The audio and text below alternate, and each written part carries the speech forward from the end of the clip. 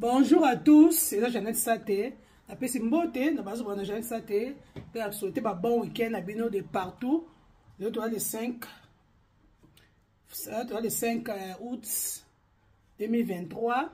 lelo toza 5e jour ya francophonie toza na francophonie lobi dernier jour le 6 naye kolobela moke nayesa analyse na ngai nasalaki liboso analyse naye kocomplete analyse na ngai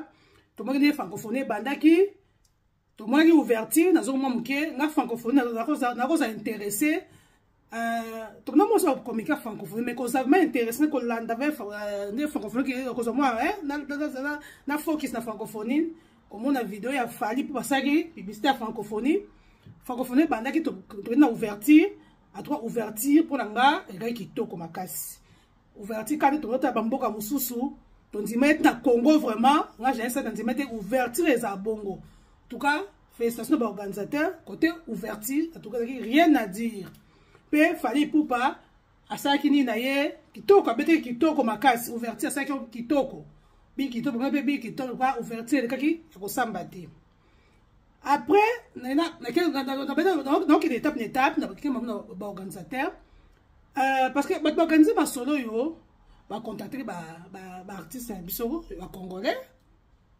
tomonaki euh, tomonaki funani avant wana tomonaki funani fere gola date nde ezalaki le 4 euh, fali pupa le 6 bamisusu bango bapapa chéri baweranson oye na so le 5 oye na so le 4 en tout cas papa chéri abeta mutu na mutu kuna ezalaki na badate na ye eza bamusée chrétien mutu na mutu ezalaki na badate na ye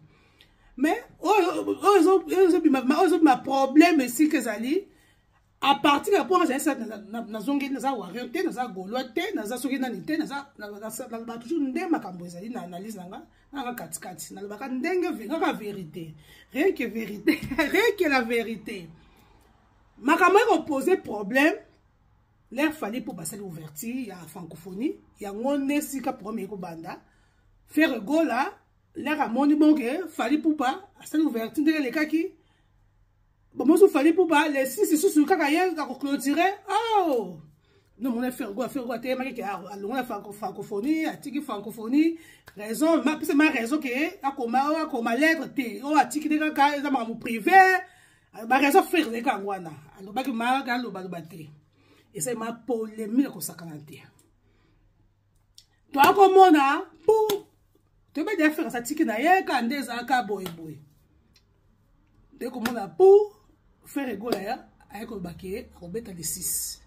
mais ko changer date le 4 hein?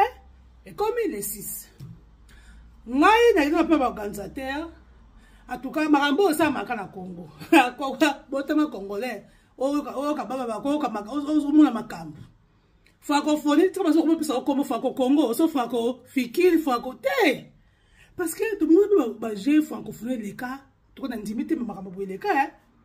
parce que baorganisateur nde basalaki ba classaki ba musicien wana na musicien musicien avant ondima mpo basi ozwi mbongo mpo ondimaki ozwa kobeta le 4 ondimaki ozwi mosuni na yo ozwi mbongo na yo mpe moko ondimaki te le 4 oza dispo te le 6 na oza dispo batunaka no malgré osigne contrat na ezaka bongo ti mpo na nga na fere gola nakenda baorganisateur ato baorganisateur bosali bosololi te bosololi te nde feko andimaki nde baosine contrat wana nzoye bato biso nayebi te makambo mposa ya maka na congo laka azosine contrat azwi mbongo na ye andimaki naza dispo le 4 koma ata motu nayebi te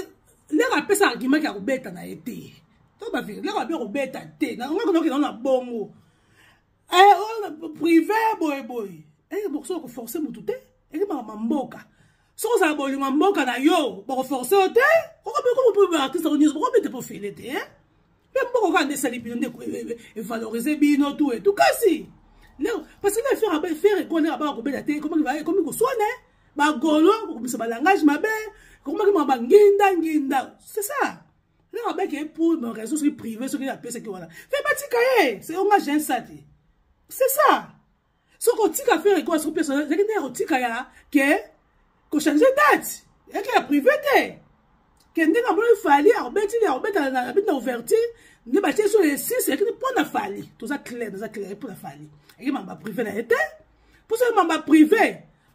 akoki kondima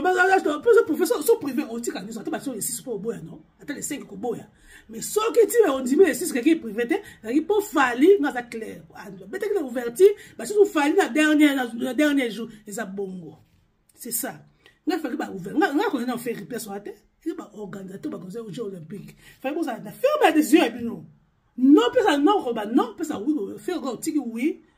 osineli ya konta tozongisa mbongo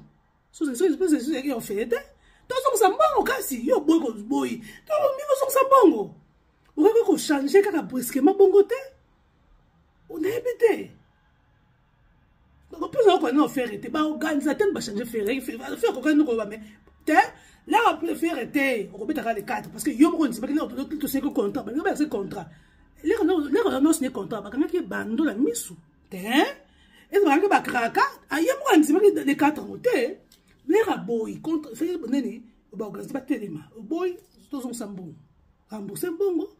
zongisa mbongo to nini eza bongo mpo nga mpo na nga vraimen asofere mpo aboyaki ye mpo na prive te mamba fale mpo andimi esisi mpo ya nini c'est ça bon tokende to continue ferre ekoyo akomi le 6 baorganisateur bango le 6 bakosi botyeke na fali le 6 boyebi ke ferre na fali ndenge ekendaka nayebi biso bongaki boluka nini baoke baorganisateur nano ezaki bonga babimisa yango nini ata ferre ekoyo azali na martyre fali mpo ba aye na esplanade na palais du peuple ekangama te ozomona parce que na publicité fere tokolakisa bango dans le sport pe fere bo langage fere go asaki na publicité ya bango oh, publicité oyo oyo akoma le 6 ozomona langage ezali ya kote nini ba discours ya la haine ya ba ekoma ya batembe ata kote ba gaulois kote ba fere komoki baoso na okota mote ekoma ya batembe sikoyo baorganize bongo ya bomakile tanga toyebi te nde bozondima fere le 6 wa poso soki motu soki motu faya azali le 6 tengenge mpe pomi te me nde bozondima fere le 6 faya azali le 6 fali pa mpo na wana kondane baorganisateur ya 100 pourcent bolingi makili etanga mpo elingi koma likambo ya tembe nginda nginda oyo mosu mosusu nga biso bapake na ye nga aza bafane ebele nga aza ngai boye bozomona c'est ça baorganisateur mbasi makambo bozonga yango te bobeti faux nga ba chance bobeti kote nga banaka verite oyongenge na bitumba eza bitumba fait pas bondima fere azwa de 6 mpo na nga mpasi andimaki deya contrat bozongisa de 4 udatizo parce que fali azalaki deya kuna ya fali rivalité ezaka moto aboya yango moto awangaware na golo baza bongindanginda mpo bango ya mito bango nde bango nde baza boye c'est ça toleki wana euh, mpo na nga mpo na fali euh, asala abetaki na ya couverture aza na bete le 6 fasi ya pomi te mpo basa le osine contrat na ye basa fali kobeta ouverture okobeta le 6 le 6 ya fali place na babougeaka yo te ezalaki ka le 6 mpo na nga eloko fali asali mpo na nga asali ne bien mpo na nga kosa kote moko asali bien parce que eloko makengi etanga bitumba déjà elo ya affrontement fo kobatela pepe nayebi soki lingo otya soki basécurité oyo nayebi ezala ndenge ni mpo population boye ekoyaka mpe tala loka tembe kola lona biso bapaki waro lona biso bapaki oyo ezali so concert te engene baconcert nde bitumba fali place wana kote fali asali bien ndenge aretire abeta abikisi milimo ya bato abikisi kimia parce que déjà ya mardi bakondanaki ezalaki eh, oyo oh, bato bakufa na concert nde baloba wanga jasi na confirme te malgré wana verité ngai neti nga bibembe namona te namona bato na bakisa na hôpital tout mais bibembe okufa na marti afali wana jane sese engage nga ngazakota verité namona yanga te tomona bato bakoba evani tomona parce que bato balingaki ebele tellement bato balangai baporte oyo etouffement bato bazobima bazokota seki ya mbiskadi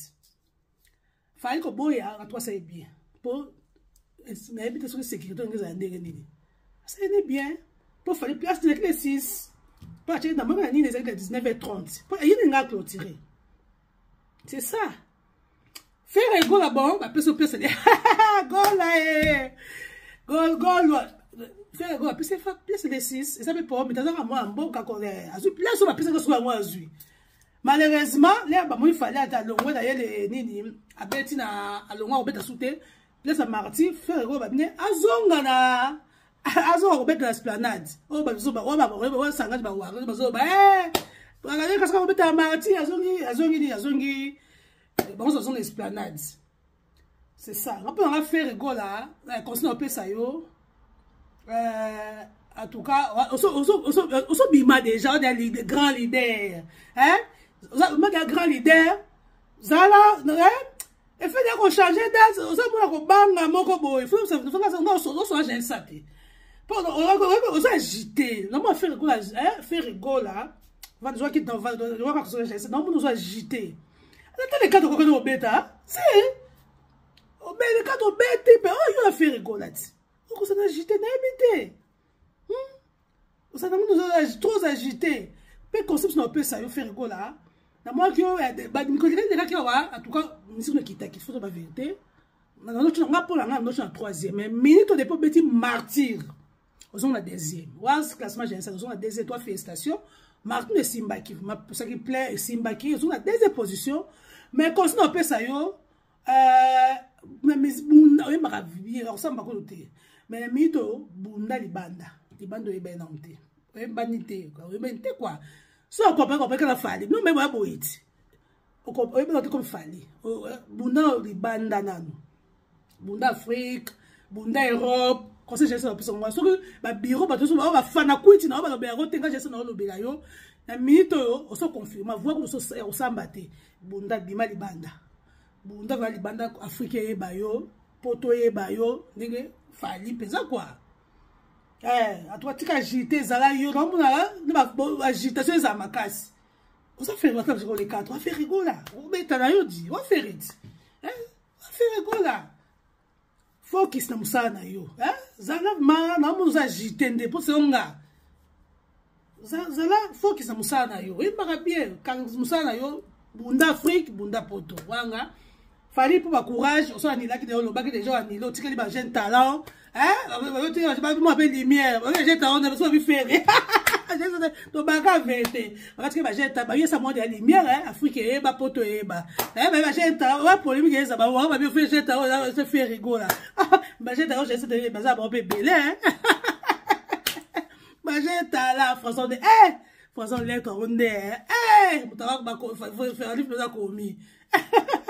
courage on amona pas fallait popa longola complexe aza focus na mosala na ye azobose dire fallait popa si aza azobose oyo naoma fallait azobose azolinga mpenza fonce eh, amata maikasi mati me oma fallait banko azolinga ba mosala na ye azomaba kende esika oyo ye alingi oyo nzambe alingi atya ye kua maike aza deya fali pupa maike afrika eyebi poto eyebi mai ozomona ke aza boser ozomona kaka fali pupa coup de chapeau formi set abimisi oyo album na ye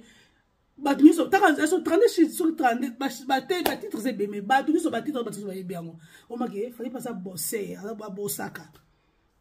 ah, courage en tout cas focus nde obengaka focus silence na mosala na yo yango nde esala oza fali pupa eh, kolandalanda te eh, yango esala oza fali pupa efere mpe napesi mpe efere conseil atika agitation alanda bafana kuti te bamisu bafana ku baentourage otyaka balide na nini na banini libulu yebisa lide ya verité fere egola minute oyo na kishasa ya kosamba te kishasa okanga to etu félicitation ya marite marti obetaki mais libanda nde nga mpo nanga fere libanda ti poto fali mpo bamartir kutu ya kosamba te soki totanga bamartir place akuta kobala déjà efali liboso après fere après nde tocontinue eh, kuna troisième eh, mais fali ya mito oyo pla asala moto akokana pla fali te mpe conseil ya fali ezali lokola vip conseil mo classe mais martir ayataka fali abeti bamartir abeti bastade libanda kopi mayele en tout cas marti ya fali ezalaki classe kuna ba verité ayaki plein ya craquer aye atikaki kaka na number one na martyr en tout cas tolingi kimia naomona arrive aki maître gims en tout cas alidela nani son excellence na biso maître gims na sepe arrive na ye mpe aye koparticipe na jeu francophonie mais totika polémique nani na ferregola kozala na bango ezala te ke bambwakela division te bambwakela waila fali epare baza kobebana ekomi na fere te maître gims oza babengi yo nani babengi yo ambassadeur no yo oza ambassadeur yo ozala katikati bwakela soki te tolingi yango te ngai naza toujours ngai lingaa toujours oh, badivision te jesala kota division te soki otala fere no ya vida sepeli ya video arrive mpe ya sepeli yaye kobetela mboka na ye mais ombwakela division soki te maître gims oyo na jaisa joue sage sagesse esala division soki ndenge kimbwakela ozalaki na fale komi na fere soki nde te oza libre opona moto oyo okozala na ye baforsaka te mais mbokela soki toki ndenge nini soki nde te fo kozala sage ah, miziki ya kongo etambolaka bongo etambolaka bongo francophonie osobiko franco kongo franco kine tela francophonie na merci mpe makasi premier fois tomona merci mokonzi na mboka fashi beton eh, ouverture kaka ouverture kaka nde bomanga eh, mais ouverture wava verité fere fere fere fere pasa raison sika nakoti na angla eh! korate ouverture ouverture eza kitoko eh? eh, eh korate ouverture eza mpe mpasi eh? eh kongo bamundika na gloire wana eh, bashele elobela yo ouverture yango c'est ça bosima yango tili fali bazwa ye mpasi abetani ape libanda babiloko wana fali fere bose tika kolanda koswana bani oyembada nze bose yaki message ya sa te nalingaka bino mingi bon weekend nakokende na fete eh? nazali ya mode fete naoke na fetard donc fete kati naoke na fete ba bon week-end ozaki ya naza jaye sate mpo na francophonie nakolani vraiment mingi ba organisateur bachangement badate ya pourquoi eh, kongo kongo bamakambo ya oyo oh, oh, nayebani na motu elingi eh, kosalama mingi oyo oh, nayebani ngai motu boye korelation rela non non non non otika makambo wana makambo se mpe mama relation te mboka mosusu makambo esalama te to change ti aye to change ti atiki bino aye bosabone kaka massivement na youtube nanga jainsa te na na tiktok jainsa te komboya kaka na youtube osabone page nanga mpe jainsa te atiki bino tokos